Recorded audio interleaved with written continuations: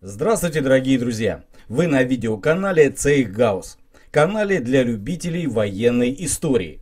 Если вам понравился ролик, не забудьте поставить лайк и подписаться. Приятного просмотра! В конце 30-х годов японское командование наконец-то пришло к выводу, что для перемещения войск по обширным территориям китайского театра военных действий одних грузовиков и тракторов будет недостаточно. Множество машин уничтожалось стрелковым огнем противника, что заставило Генштаб выдать спецификацию на разработку бронетранспортера. Поскольку основные танкостроительные фирмы были загружены другими заказами, работы по новой машине, обозначенной как тип 1 Хоки, шли не очень быстро.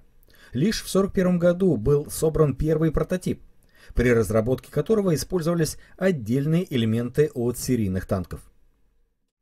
Ходовая часть Хоки состояла из восьми обрезиненных опорных катков и двух поддерживающих колес, по 4 и 2 на каждый борт соответственно. Передних направляющих колес, ведущих колес заднего расположения и мелкозвенчатой гусеницы с металлическими траками. Опорные катки оснащались пружинной подвеской и заимствовались от легкого танка тип 95 Хаго. Корпус танка сварной конструкции технологически делился на две секции. В передней части с левого борта находилась кабина водителя – который вел наблюдение за дорогой через большие смотровые люки, защищенные бронированными крышками. Справа от него в пониженном капоте размещалась силовая установка. Транспортер оснащался шестицилиндровым дизельным двигателем мощностью 90 лошадиных сил и воздушной системой охлаждения. Рядом размещалось два топливных бака на 50 и 60 галлонов, то есть 189 и 227 литров. Для забора воздуха в лобовой части корпуса и в правом борту установили бронированные жалюзи. Выхлопная труба также выводилась на правый борт. На переднем наклонном бронелисте крепились две фары дальнего света. Также была разработана модель корпуса с двухскатными бортами, но в серийном производстве она не прижилась. Остальную часть корпуса занимало транспортное отделение, которое можно было использовать как для перевозки амуниции, так и для размещения 13 солдат.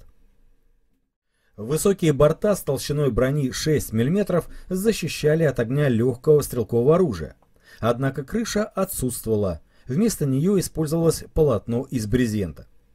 Посадка десанта производилась через дверь в кормовой части корпуса.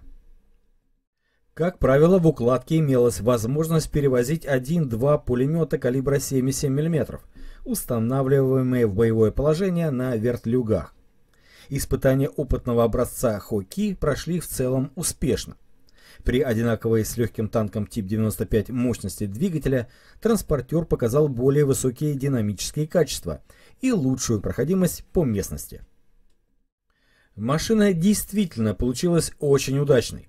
Однако на устранение выявленных недостатков и развертывание производства ушло еще некоторое время.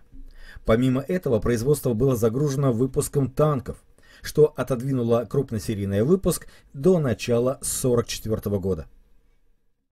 В результате единичные экземпляры транспортеров Хоккей впервые приняли участие в боевых действиях в Китае. В массовом количестве их стали использовать лишь в ходе боев в заливе Лейте весной 1944 года. При этом много машин пошло на дно вместе с транспортными судами, доставлявшими технику на Филиппинские острова. Активное использование Хоки продолжалось вплоть до сентября 1945 года. Несмотря на отдельные недостатки, транспортер оказался весьма удачным, хотя и не столь массовым, как это ожидалось. После капитуляции Японии вся боевая техника была захвачена американскими войсками. Но спустя некоторое время хоки стали передаваться силам самообороны.